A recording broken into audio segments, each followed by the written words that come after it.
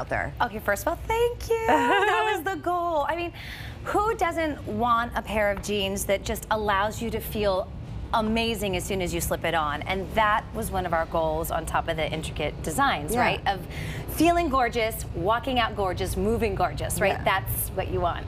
Um, and that's what we hoped for, that hug, that comfort, also where you see like, oh, I love it, you're just showing it off. Yes.